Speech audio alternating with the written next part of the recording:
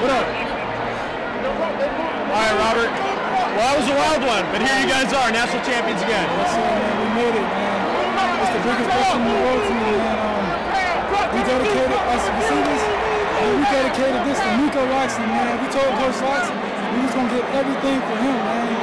And I can't thank my teammates enough, bro. I really can't. I can't believe it. This is the big, again, this is the biggest blessing I've ever received, man. And it's none but God, bro. It's none but God. I'm just speechless. Tua comes in in the second half, a true freshman on the biggest stage, and oh yeah, you guys were down. What does that say about him to come in here and, and get that spark? Hey man, Tua did a wonderful job. Jalen as well, man. Jalen kept his poise.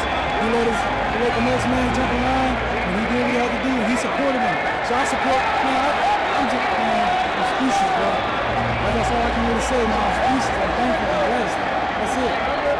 Feel when that ball left to his hand in overtime and he was Oh, open? money ball. Money ball. Young Smitty gonna do it. Smitty gonna do it, man. He did the same thing. Mississippi State, he's a clutch playmaker, man. And I just thank him again, man. I thank my teammates. I thank God, man. I thank God, man. It wasn't for him. I want to be man down here today, so. You're a national champion. Congratulations. Go celebrate. It.